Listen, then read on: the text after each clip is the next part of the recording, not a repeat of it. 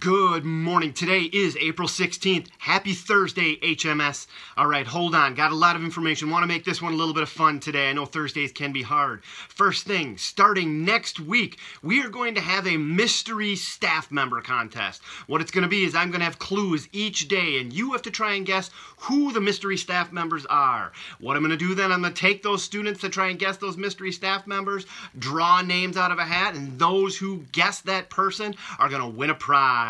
All right, got a couple of jokes coming at you here today. All right, got a bunch of them because I know it's Thursday. What did one math book say to the other? Don't bother me, I've got my own problems. Why did the obtuse triangle always get upset? Because he was never right. A farmer counted 396 cows in his field, but when he rounded them up, he had 400.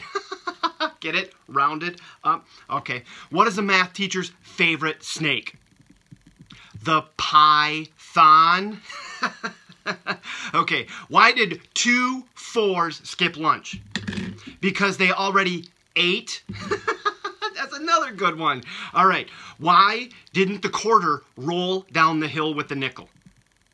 Because he had more sense See? Sense? Another good one. All right, this one I think might be my favorite. Okay, how do you call friends who love math? Or excuse me, what do you call friends who love math? Algebros? all right, what's the reason for all the math jokes today? We have a contest that is coming up. April showers bring May flowers, but they also bring Noetic Math Learning Math Contest. That is coming up, and the awesome people at Noetic Learning Math have made this online this year.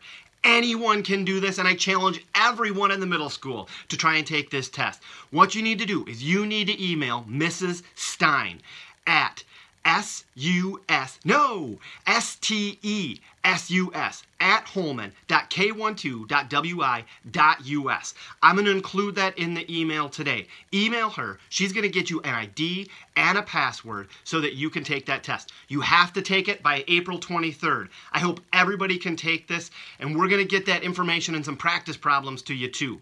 Everybody take care. Have a great day today. I hope you enjoyed the math jokes. Everybody remember, be respectful, be responsible, be safe, but most of all, HMS, be kind. Take care, and we miss you.